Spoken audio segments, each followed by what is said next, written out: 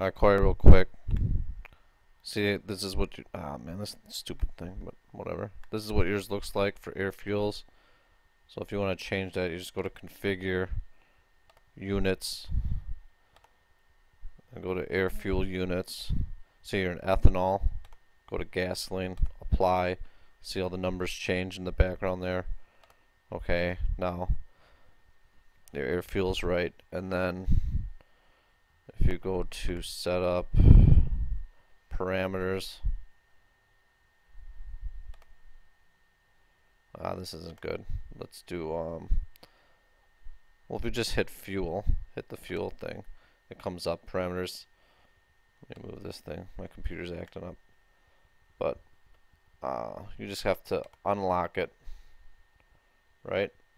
And then like you don't need O2 sensor number two so just change that for something useful.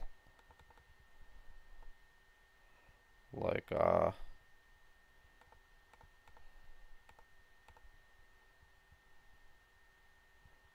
like ignition timing.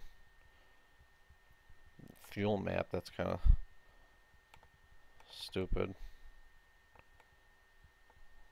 So you can do air temp. So you have engine speed, RPM, map sensor, throttle, O2 sensor, ignition timing, air temp. 1 through 4 would be fine. All these are useless. So you can make this like uh, the fuel pump and then you know because it's turning it on then you can do injector duty cycle.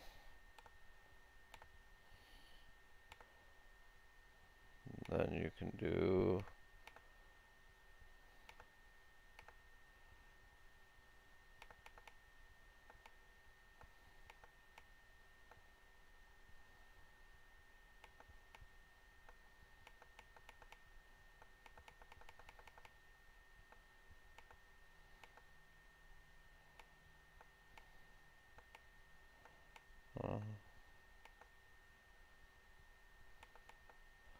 do all three knocks.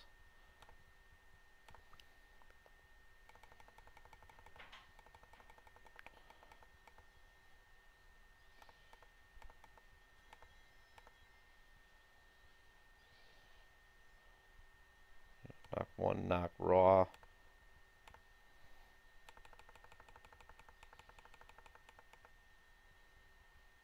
How much it's retarding because of knock. Then you can do uh,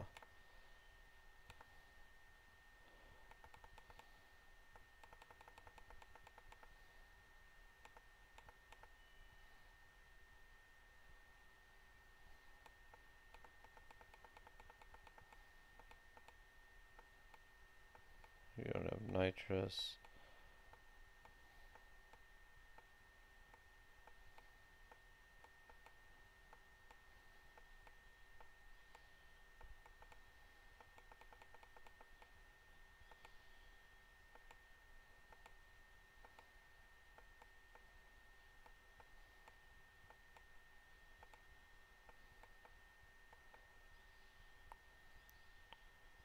You do your speed.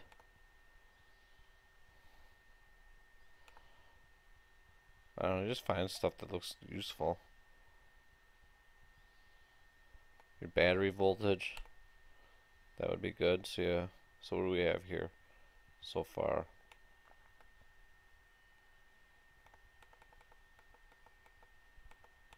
Here, okay. Engine speed, load.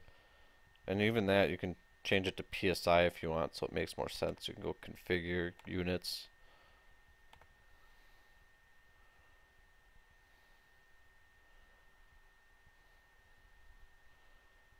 Uh, load units and you can change it to PSI, apply.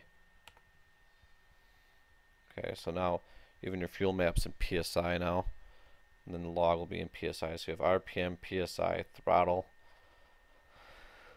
you have your O2 sensor, ignition timing, air temp, your four injector pulse widths, fuel pump,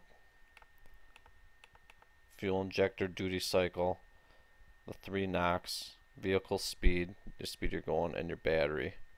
That should be like